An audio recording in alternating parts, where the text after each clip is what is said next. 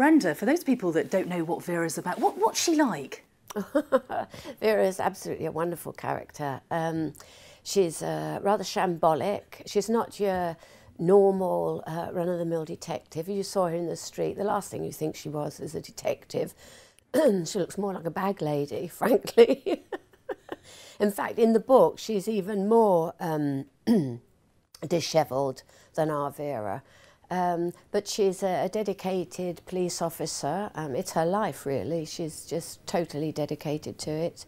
Um, she's uh, very, very good at her job, although she's, uh, she does make mistakes. Most detective, female detectives you see on the TV, um, have some romantic liaison. Well, Vera is not hampered uh, with that. And uh, that's not to say um, she hasn't had um, romance in her life. I'm sure she has. She's one of these wonderfully down to earth people, and, and part of her talents is, you know, she can chat to anybody, but yeah. she's extracting yeah. this information. Yeah, yeah, she's great. I mean, if you uh, sat next to her on the bus, she'd be talking about uh, the bargains down the co op. you know, you get two for one packages. Um, but she's so easy to talk to, and uh, of course, it works very, very well for her when she's. Um, uh, questioning somebody. She's got the real human touch, hasn't she? Yeah, yeah, and a great sense of humour too. And uh, commands such wonderful loyalty from her team, and they all think she's a bit odd and a bit tough, and uh, um, you know, probably talk about her behind her back, but they all um, appreciate her and uh, uh are loyal to her. Even the ones that she, um, one in particular, that she um, has a bit of uh, sparring with. She doesn't suffer fools lightly. She's no nonsense. No, absolutely no nonsense woman. She's had a tough upbringing. Um, she's uh, only child. Her mother died when she was quite young, and um, and I think her father thought of her as a bit of a waste of space. So she was always having to prove herself. Um, uh, in growing up. And here she is, a police officer. Um, uh, uh, his, uh, her father would have thought that she was in a man's job and it was quite inappropriate for her to be doing. She probably can't be very good doing it. And so he was always um, putting her down. But that's not a great load for her to carry because she's so incredibly resilient because of that upbringing, because of uh, where they lived in a remote part of the coastline and, um, you know, you have to survive in those conditions. And she's got Joe, who's a sort of surrogate son. Joe is her wonderful, gorgeous right hand man, uh, Joe Ashworth. Yeah, he is kind of like a, a surrogate son to her. Um, but she she even doesn't even let him in completely, um, as you see uh, he asks a favour of her in this first episode that she has to dodge niftily. Um, she puts up she, a shell, doesn't she? Mm, yeah, she just doesn't. Some things she's not comfortable dealing with. Children are one of them. And what sort of parts of you are in Vera then? Because you love solving quizzes and crosswords. Oh, I do love solving puzzles and uh, brain teasers. Well, we didn't have a television when we were kids, so Dad used to set us problems to do, a, um, scramble a word up, a chaotic, anagrams, and uh, or set us a riddle to solve. Oh, I love it. Yes, I'm a member of the Times Crossword Club. I love it. The harder the puzzle, the more I like it. If you had to get a wardrobe through a keyhole, I would work out of a I might never solve it, but I would love trying to solve it. And, and you grew up in Ramsgate, didn't mm. you? Do you go back there often?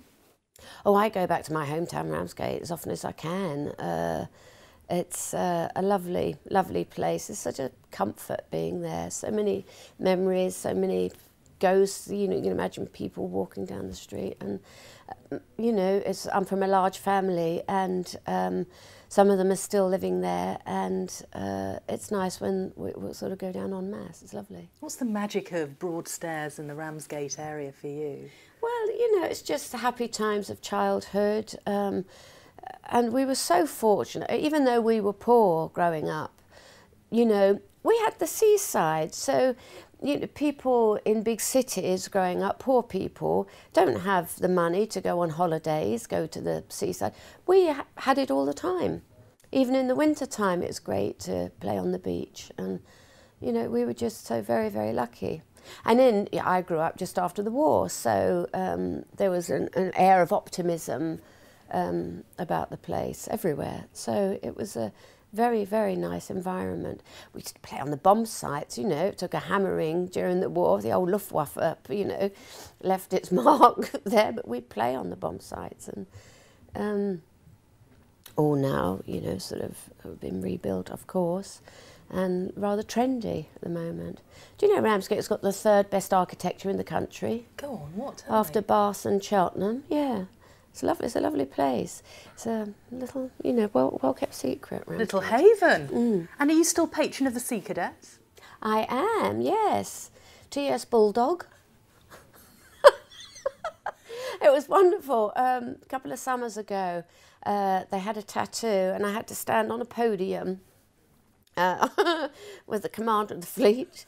And uh, along came the, the massed band of East Kent, uh, playing their marvellous musicians they are, marching along. And as they got to me, they would go, right, eyes, left, what was it, that, that, that. I was so proud of them. I didn't know whether to laugh or cry. It was so wonderful. You have done some amazing films and you're OBE now. That's wonderful. Were you thrilled to get that? Oh yeah, I, couldn't believe it when it came through the door. I thought it was a tax demand. One of these official-looking envelopes, um, and I took my old Aunt Fran to the palace with me, and uh, sadly she she died just before Christmas. Um, but uh, she started to say, "Oh, if I go to the palace, will I have to wear?" I thought she was going to say a hat. She, she said, "Well, I have to wear my teeth." I said, not if you don't want to, Fran. but because she was in her pushchair, of course, she was wheeled to the front, uh, of course. Um, but when they struck up the national anthem, the trumpet fanfare, she shot out of her chair and stood to attention. I was like, oh, people think we've put you in the chair under false pretenses. Sit down, sit down. But, but she loved um, a murder mystery program, loved them. So I had, uh, fortunately, I did have um, uh, uh a rough uh, DVD of our first episode. Um, it wasn't finally, uh, it wasn't edited, finished, uh, the editing wasn't finished on it, the music wasn't on there, but she did have a sneaky look at that. So uh, she did get to see Vera in action. Because you play some wonderful roles, you know, Little Voice and Secret and Lies, it goes on and on. But yeah. what, you've never played a detective before, and so why did you want to be part of this?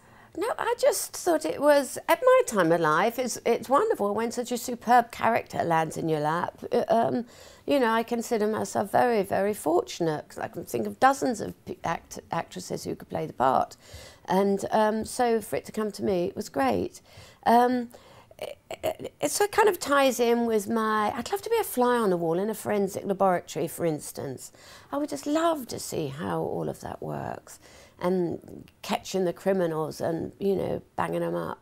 Did you speak to any detectives to research well, in fact, role? my driver on the way to set each day uh, was a superior officer to Vera um, in his day job before he, before he retired.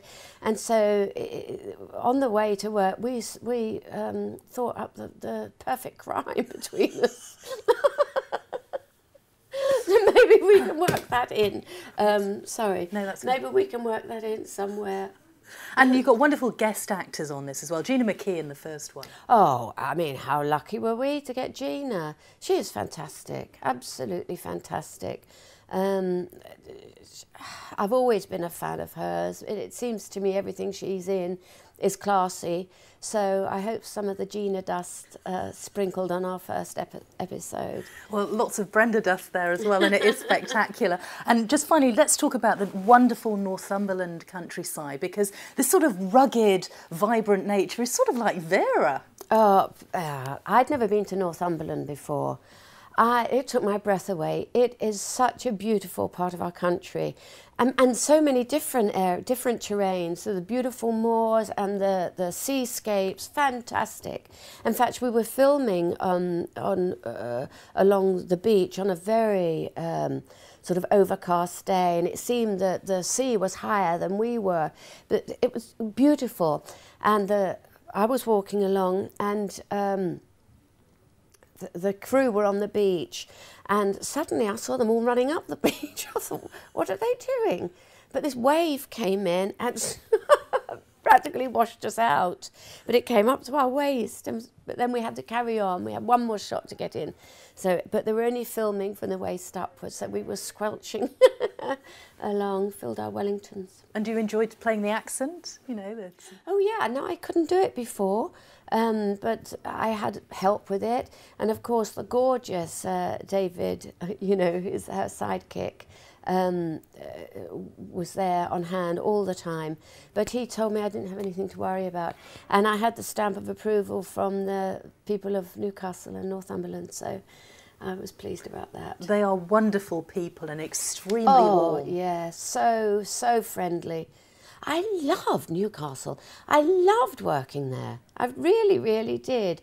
If you go into a shop to try uh, on a jacket or a dress or something, that you know they stop and say, "Oh no, I prefer that one. Go on, try, try that.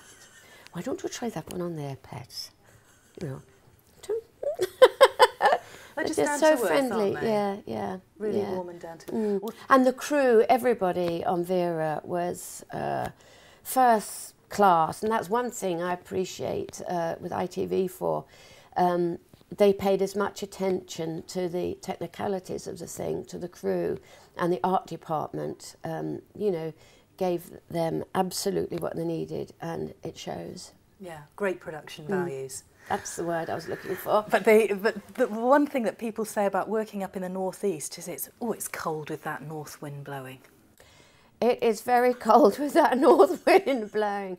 Oh, th- there was some night shoots. It was freezing. Do you have the thermals on? Oh yes, but it's good for Vera because I'm bulked out quite a lot. Uh, you know, I could put on as much as I like, so I was warmer than most people because she's like there's layers and layers and layers because she's bigger than I am.